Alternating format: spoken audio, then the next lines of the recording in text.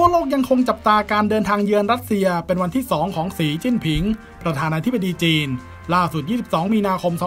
2566 ผู้นำจีนได้ไปประชุมร่วมกับมิคาเอล มิชูซิน นายกรัฐมนตรีรัสเซีย ก่อนหารืออย่างเป็นทางการกับวลาดิเมียร์ปูติน ประธานาธิบดีรัสเซีย โดยผู้นำทั้งสองชาติได้เรียกร้องให้สหรัฐอเมริกา หยุดบ่อนทำลายความมั่นคงระหว่างประเทศ ระดับภูมิภาค และเสถียรภาพยุทธศาสตร์โลก เพื่อให้ได้มาซึ่งความได้เปรียบทางทหารแต่ฝ่ายเดียว นอกจากนี้ทั้งสีและวลาดิเมียยังแสดงความกังวลต่อการปรากฏตัวเพิ่มมากขึ้น ขององค์การสนธิสัญญาแอตแลนติกเหนือในเอเชีย โดยผู้นำรัสเซียยกย่องจีน เป็นคู่ค้าต่างชาติชั้นนำของประเทศ และจะพัฒนาความสัมพันธ์ทั้งการเงิน คมนาคม ขนส่งและพลังงาน ซึ่งขณะนี้จีนเป็นผู้นำการนำเข้าน้ำมันจากรัสเซีย รวมถึงกำลังนำเข้าก๊าซธรรมชาติเพิ่มขึ้น นอกจากนี้ก็กำลังช่วยสร้างสถานีพลังงานนิวเคลียร์ในจีน เพื่อการใช้งานอย่างสันติ โดยทั้งสองชาติได้บรรลุข้อตกลงเกี่ยวกับท่อลำเลียงก๊าซ Power of Siberia 2 ซึ่งเชื่อมจากไซบีเรียไปทางภาคตะวันตกเฉียงเหนือของจีนด้วย ด้านผู้นำจีนยอมรับว่าได้พูดคุยกันอย่างตรงไปตรงมา เปิดเผยและเป็นมิตร และย้ำว่าความสัมพันธ์ระหว่างจีนกับรัสเซีย ไปไกลเกินกว่าระดับทวิภาคีแล้ว โดยปักกิ่งให้ความสำคัญ ด้านการค้าขายพลังงาน วัตถุดิบ และพลังงานไฟฟ้า รวมทั้งเพิ่มความเข้มแข็งของความสัมพันธ์ด้านมนุษยธรรม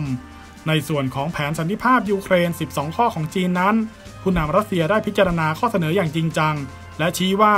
หลายข้อสามารถนำมาใช้เป็นพื้นฐาน ในการยุติความขัดแย้งได้ หากตะวันตกและเคียบพร้อม ด้านผู้นำจีนย้ำว่า ประเทศตนอยู่เพื่อสันติ ไม่ลำเอียง นิยมการปรองดอง สนับสนุนสันติ และการเจรจา และยืนยันว่า จีนยืนอยู่ถูกฝั่งในประวัติศาสตร์ อย่างไรก็ตามในเรื่องดังกล่าว ล่าสุดวลาดิเมียร์เซเลนสกี้ประธานาธิบดียูเครนได้ยืนยันว่า ได้เชิญจีนหารือแล้ว โดยเสนอให้ก้าวเข้ามาเป็นหุ้นส่วนในการบังคับใช้สู่สันติภาพ แต่ขณะนี้ยังอยู่ระหว่างการรอคำตอบจากจีน ทางฝั่งสหรัฐก็ย้ำว่า จีนไม่มีศักยภาพพอที่จะเป็นตัวกลางที่มีความเที่ยงธรรม อย่างไรก็ตามก่อนหน้านี้พลเอกมาร์คมิลลี่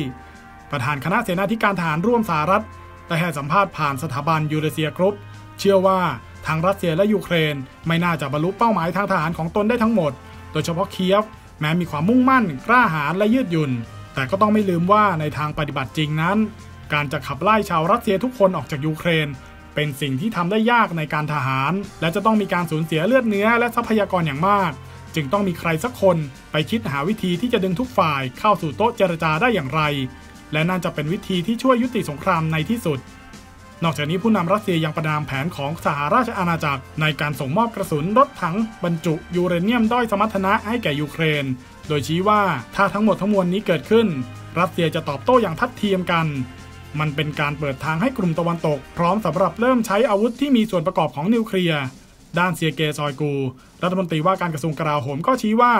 การตัดสินใจของสหราชอาณาจักรทำให้เหลืออีกไม่กี่ย่างก้าวที่จะเกิดความเป็นไปได้ของการประทะกันทางนิวเคลียร์ ระหว่างรัสเซียกับตะวันตก ทั้งนี้ยูเรเนียมด้อยสมรรถนะถูกนำมาใช้ในอาวุธ เพราะทะลวงรถถังและยานเกราะได้ง่ายกว่า แต่ก็ก่อให้เกิดความเสี่ยงทางสุขภาพ โดยเฉพาะพื้นที่จุดตก มันสามารถฟุ้งกระจายเข้าสู่ปอด และอวัยวะสำคัญของผู้คนได้ ซึ่งรัฐมนตรีว่าการกระทรวงกลาโหมก็ยืนยันว่า รัสเซียมีบางอย่างที่สามารถตอบสนองสิ่งนี้ ส่วนทางเซอร์เกย์ลาฟรอฟรัฐมนตรีว่าการกระทรวงต่างประเทศ ก็ซัดสหราชอาณาจักร ละเมิดกฎหมายมนุษยธรรมระหว่างประเทศเหมือนกับที่ยูโกสลาเวีย เมื่อปี 2542 และไม่ต้องสงสัยเลยว่ามันจะจบไม่สวยสำหรับฝ่ายลอนดอน